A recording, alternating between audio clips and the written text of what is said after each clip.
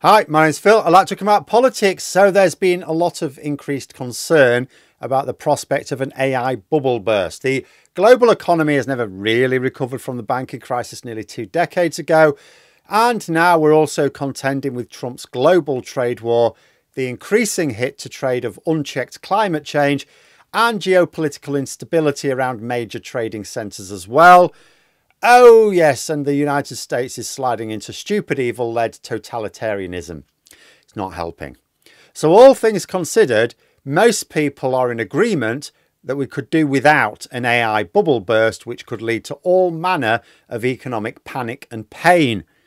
But why exactly are people worried about this potential bubble burst? And why do some experts think that the risk is being overblown? But first, for daily news and politics, please click the subscribe button to stay notified.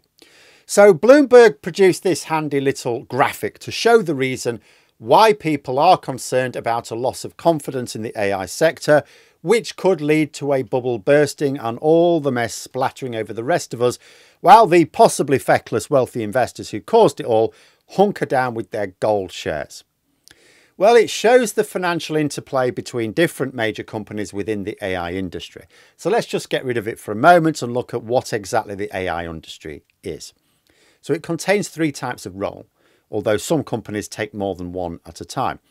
The most important are, of course, the AI service providers. These are the companies who produce the services which can produce chatbots, graphical tools, music generation tools of the sort I used recently, all of this sort of stuff now, this is very processor heavy, so you need data centers setting up, massive ones. So other companies exist to provide the physical computing power to run those AI services. Now, some companies have both the data centers and run the AI services, but for others, it's two separate entities. Then the third type of company involved are those supplying the chips for all of this to happen, advanced chipsets. And by far the biggest of the chipset manufacturers is Nvidia because, well, theirs are the best. So let's go back to our little Bloomberg chart. Now, this shows you various companies who produce chips, run data centers, and run AI services. Now, what you can see is a whole load of coloured arrows linking all of these companies up. Those arrows are capital flow, the movement of money.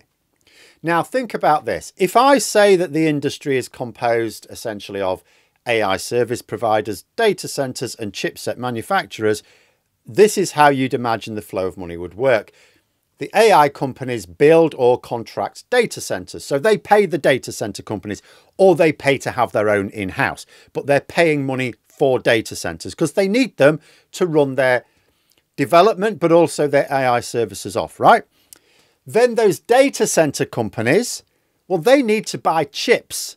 So they pay the chipset manufacturers like NVIDIA. That would be the flow of money.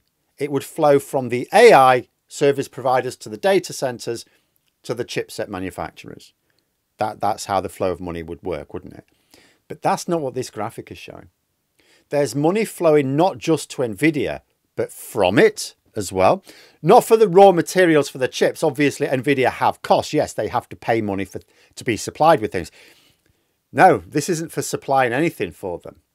It's nothing used in their development or manufacture. They're giving money to the data center and AI companies. And this is the first concern some experts have. What you have here is a situation whereby chip manufacturers are investing in data center and AI companies who use that investment to buy that company's chips. So there's like a couple of red flags. First of all, in practical terms, companies like Nvidia are basically paying companies to buy their chips, a little bit like an author buying a thousand of their own books on publication day to boost the sales. But you haven't really boosted any sales, you haven't generated any wealth. The second issue is that this is like discounting the chips.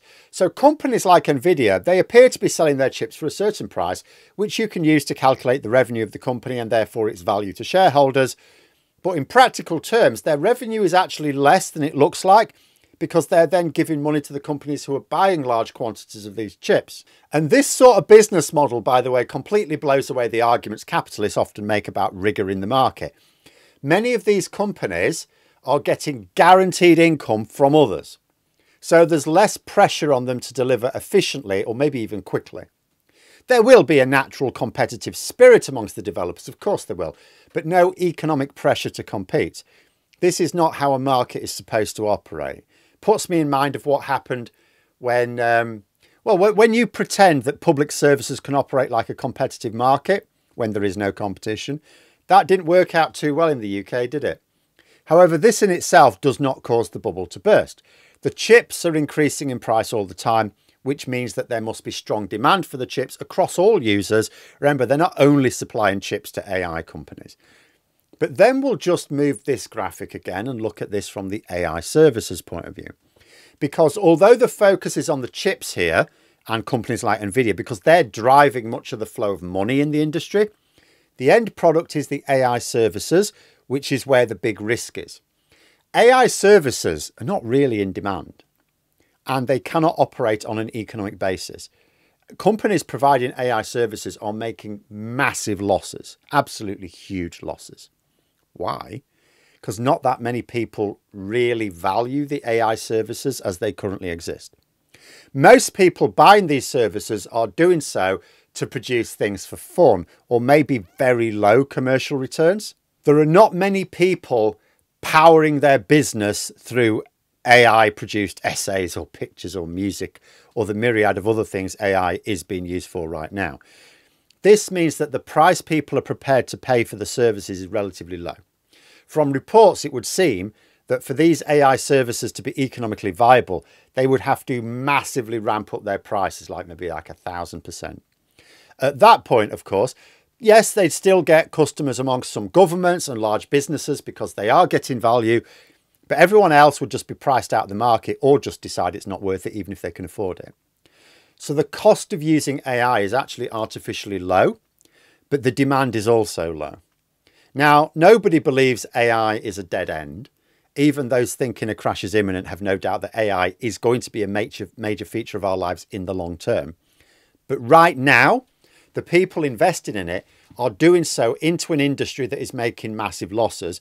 Those investors are hoping that there will be an inflection moment where AI delivers some services so life changingly awesome that the demand suddenly surges and they want to have, have, have bought those shares when they were still relatively affordable, right?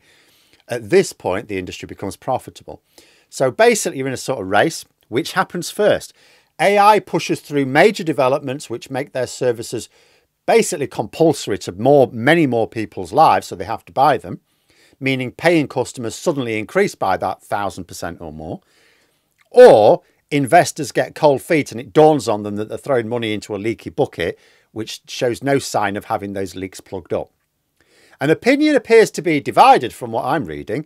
You've got some economists who think the loss making at the AI service provider end doesn't matter because it's the chip makers driving the money in the industry and they're selling their chips for more and more. And just to be clear, Nvidia are making pots of money, by the way. Although there's a sense of artificially increasing sales and revenue by investing in companies who are going to then buy their chips, they are actually stunningly profitable. That means that they are selling their chips across the world for way more than they are spending on whatever, right? Including on investing in AI companies. So there are some people who say, look, there's no reason this can't be sustainable because the overall profits are real. But there are others who look at the flow of money and say, look, it's not sustainable for chip makers to be paying AI companies to buy their chips in order to provide services at a loss. This is going to go tits up very soon.